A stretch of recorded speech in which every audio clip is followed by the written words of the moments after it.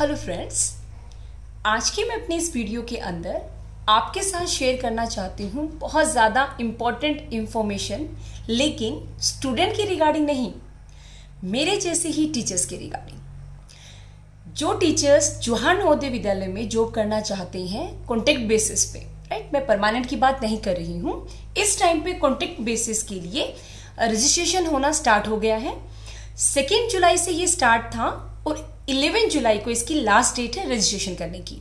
सो so, मेरी आप सभी से रिक्वेस्ट है कि या तो आप में से या फिर आपके आसपास को रियली में जो एनवीएस में जॉब करना चाहता है अप्लाई करना चाहता है आप उस तक ये इंफॉर्मेशन ज़रूर पहुंचाना। अब साथ में कुछ इंपॉर्टेंट बातें हैं जो लास्ट ईयर से इस साल थोड़ी डिफरेंट हुई हैं वो मैं आपके साथ शेयर करना चाहती हूँ। जैसे कि नंबर वन लास्ट ईयर तो क्या था? जैसे नवोदया के एट रीजंस हैं तो एट रीजंस के अंदर आप कितने भी रीजंस के अंदर अप्लाई कर सकते थे।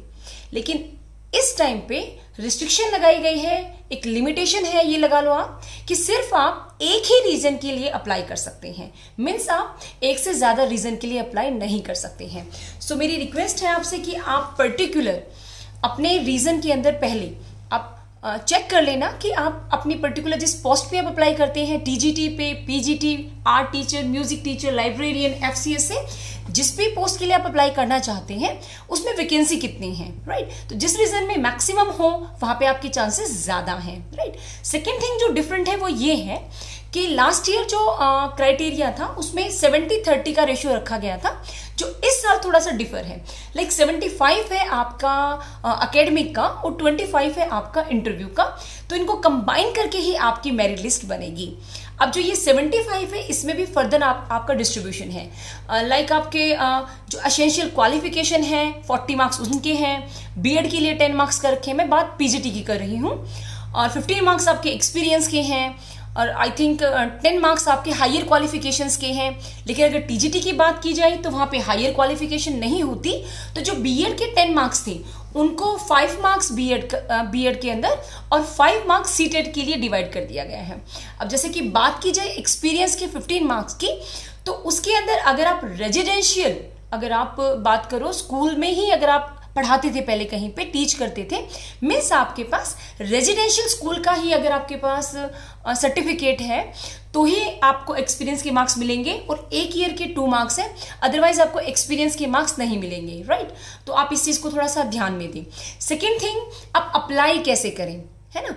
और क्या क्या रिक्वायर्ड असेंशियल इसके मीन्स क्वालिफिकेशंस हैं, इसके बारे में नॉलेज कहाँ से ले? तो डियर फ्रेंड्स मैं अपने डिस्क्रिप्शन बॉक्स डिस्क्रिप्शन बॉक्स में आपके लिए डायरेक्ट लिंक डालूँगी। जैसे कि मैंने आपको पहले भी शेयर किया, पूरे इंडिया के अंदर एट रीजन्स हैं। सो एट रीजन में सेपरेट रीजन के अंदर अप्लाई करना अप्लाई करने के लिए मतलब सेपरेट लिंक बनाया गया है। तो वो लिंक मैं अपने डिस्क्रिप्शन बॉक्स में डालूँगी। सेकेंड थिंग एक पीडीएफ डालूँगी, जिसके अंदर कंप्लीट इंफॉर्मेशन होगी कि क्या क्या क्राइटेरिया है, कितने मार्क्स होने चाहिए आपके और किस चीज़ के लिए क्या क्या रिक्वायर्ड कंडीशन है। तो वो सारी की सारी बातें। लेकिन हमारे कई फ्रेंड्स को नवोदय के बारे में ज़्यादा डिटेल में नहीं मालूम है।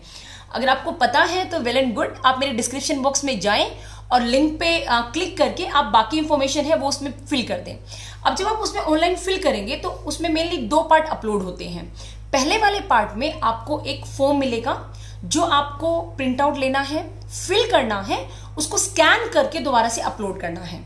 दूसरे वाले पार्ट में आपका गूगल फॉर्म है ये। दूसरे वाले पार्ट में आपकी जितनी भी रिक्वायर्ड डॉक्यूमेंट हैं आपके लाइक uh, आपकी डिग्री से रिलेटेड एक्सपीरियंस से रिलेटेड लाइक और कोई सर्टिफिकेट्स हैं आपके पास मेरिट के तो वो आप उसके अंदर अपलोड कर सकते हैं। तो ये है आपका प्रोसीजर अपलोडिंग का राइट अब जो मैं बात आपसे कर रही हूँ कि हमारे बहुत सारे फ्रेंड्स नवोदय के बारे में नहीं जानते तो मैं लास्ट के एक मिनट में नवोदय के बारे में कुछ आपसे शेयर करना चाहती हूँ, जिनको नवोदय के बारे में नहीं पता।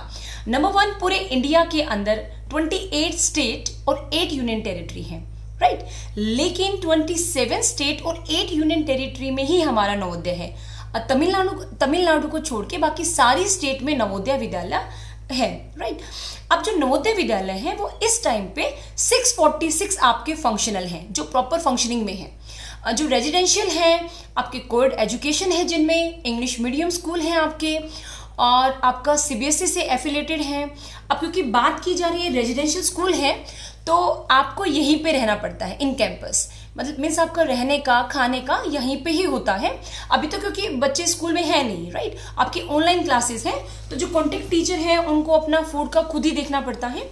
अदरवाइज़ जब स्कूल दोबारा से रीओपन होंगे तो राइट उस टाइम पे आपको कुछ खाने की प्रॉब्लम नहीं है, रहने की कोई प्रॉब्लम नहीं है। आपको जो स्कूल की मेस है, आप वहाँ से अपना खाना कर सकते हैं, खुद से भी खा सकते हैं। अदरवाइज़ आप वहाँ पे भी, आपको तीनों टाइम का खाना, वहाँ पे भी आपको फ्री ऑफ़ कॉस्ट मिलता है। तो ये एडवांटेज है एनवीएस के टीचर्स के लिए राइट आपको कहीं जाना नहीं है, आपको रहने की टेंशन नहीं है, आपको खाने पीने की टेंशन नहीं है, आपको सिर्फ़ फोकस करना है बच्चों की स्टडी पे। साथ ही एक मैं आपसे और बात शेयर करना चाहती हूँ अकेडमिक्स के साथ में, क्योंकि रेजिडेंशियल स्कूल है तो एक आध और जो वर्क है आपके, वो अगर प्रिंसिपल अलॉट करना चाहे रेजिडेंस से रिलेटेड तो वो आपको करने पड़ते हैं। तो ये कुछ रिक्वायर्ड सी चीज़ें थी जो मैंने आपके साथ शेयर की, जो आपको कुछ पता होनी चाहिए। एक्स्ट्रा अगर आपको नॉलेज लेनी है तो आप एनवीएस की साइट पे जाके भी ले सकते हैं।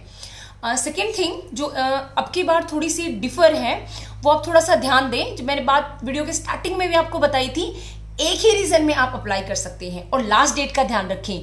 Last date is seventy not seventeen eleven July is the last date for this registration क्योंकि सेकेंड जुलाई से ये स्टार्ट हो चुका है और इलेवन जुलाई इसकी लास्ट डेट है। तो आई होप सो आप या तो खुद अप्लाई करेंगे या फिर मैक्सिमम लोगों तक ये बात शेयर करके, जो रियली में इस टाइम को रियली में जिस जिस पर्सन को इस टाइम पे जॉब की रिक्वायरमेंट है और जो क्वालिफाइड भी है वेल क्वालिफाइड है वेल डिजर्विंग स्टूडेंट है या कैंडिडेट है नॉट स्टूडेंट तो वो यहाँ पे अप्लाई कर सकता है। So thank you very much आप डिस्क्रिप्शन बॉक्स में जाके हर एक रीजन का डायरेक्ट लिंक देख सकते हैं। इसके बारे में और जान सकते हैं और जो मैंने पीडीएफ शेयर करूँगी, आप उसको ओपन करके जो जो आपको चीज़ें रिक्वायर्ड है, आप इसके बारे में फर्दर जाना चाहते हैं, वो आपको सारी चीज़ें मिलेंगी। So thanks a lot bye everyone